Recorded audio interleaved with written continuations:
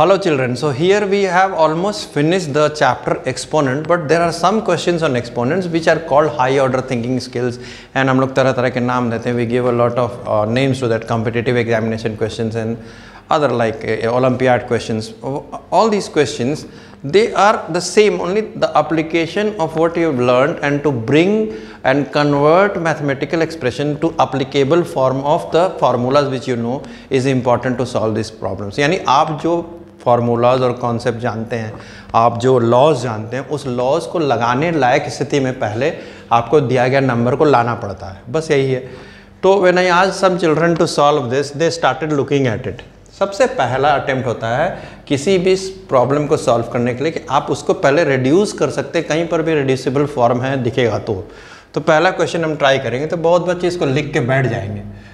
लेकिन अगर आप फ़र्स्ट स्टेप निकालते हैं तो धीरे धीरे खुद ही सम आपको गाइड करेगा कि आगे करना क्या है। जैसे मैंने एक बच्चे से पूछा कि इसमें सबसे पहला स्टेप आप क्या करेंगे?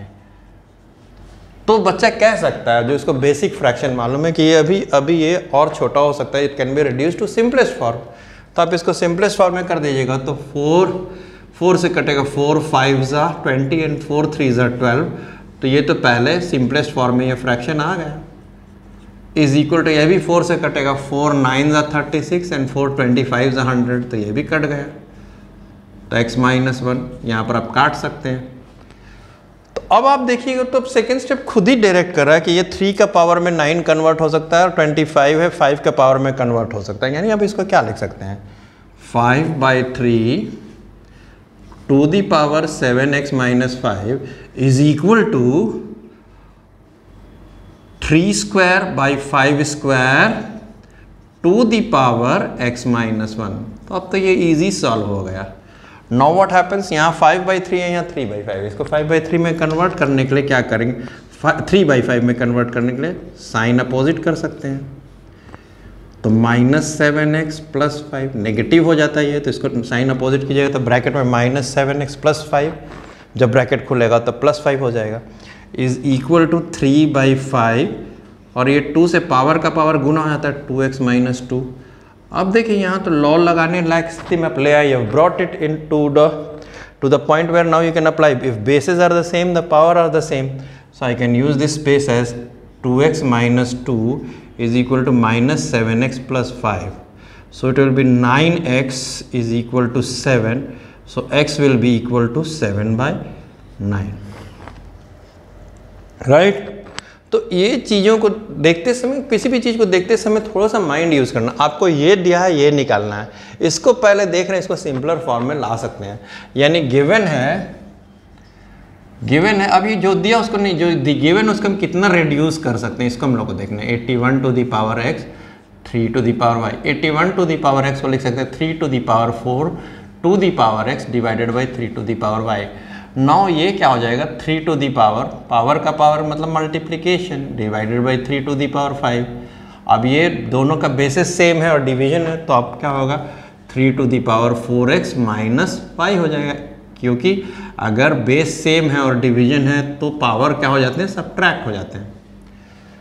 अब हमको इतना का वैल्यू अब देखेंगे। अब इसके आगे हम नहीं बढ़ सकते, क्योंकि एक्स और वाई का वैल्यू अलग अलग तो नहीं दिया। लेकिन फोर एक्स माइनस वाई का कलेक्टिव वैल्यू थ्री है। इसका मतलब जो गिवन है वो ट्रू होता है। Given four x minus y is equal to three like this four x minus y is equal to three ये भी दिया हुआ है। ऑल्सो गिवन भी लिख सकते हैं। अब हम लोगों को eighty one to the power x three to the power y इसके बराबर आया यानी eighty one to the power x, three to the power y can be return as three to the power four x minus y, and three to the power y can be return as 3 to the power 3 so the answer is 27 choice में रहता है।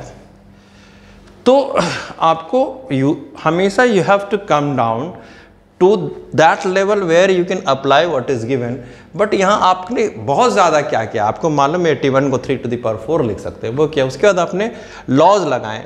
Exponent के exponent के law कैसे लगा? M to the power n है तो m into N हो गया। फिर डिवीज़न था तो M to M minus N हो गया। और जैसे एम माइनस एन हुआ, हम लगा सकते हैं, जो गिवन है, उसको अप्लाई कर सकते हैं। यहाँ पर देखा जाए, ये भी बहुत मज़ेदार सवाल है। Two to the power x plus seven plus two to the power x plus five is equal to three twenty हम लोग इस साइड से इस साइड जाने वाला सम्स बनाते हैं। इस साइड को इस साइड लाने वाला सम नहीं बनाते हैं। यानी जब प्लस दिया हुआ तो हम इसको लिख सकते हैं। पावर अगर प्लस में तुमको लिख सकते हैं। सेम बेस में मल्टीप्लीकेशन होगा, यानी two to the power x plus seven is two to the power x into two to the power seven plus two to the power x into two to the power five that is equal to three twenty अब यहाँ ध्यान देंगे। To to the power x हम अगर common निकाल लेते हैं और यहाँ two to the power five भी कॉमन निकाल लेते हैं। तो हमारा अंदर यहाँ पर टू स्क्वायर बच जाएगा। देखिए टू टू दावर एक्स बाहर गया फाइव इसमें चलेगा टू स्क्वायर प्लस यहाँ पर हमारा केवल वन बच जाएगा, क्योंकि सारे चीज़ बाहर चले गए is equal to three twenty आसान हो गया काम। Two to the power x two to the power five का मतलब थर्टी टू और two square plus one is five is equal to three twenty two to the power x is equal to three twenty by thirty two into five इसका मतलब thirty to ten time से कटेगा five two ज़ा, यानी two to the power x is equal to two to the power one तो x is equal to one आ गया। When base base are same power power are same तो competitive examination के questions बहुत ही difficult नहीं होते हैं, वो थोड़ा डिफरेंट होते हैं। आप you contact me on this number and probably first you do this and ask me more questions based on competitive examination. I will give you the questions solutions later i will give you so that you can do in my comment box whatever whatever way and questions you want please uh, do subscribe the channel and do ask me the questions. Thanks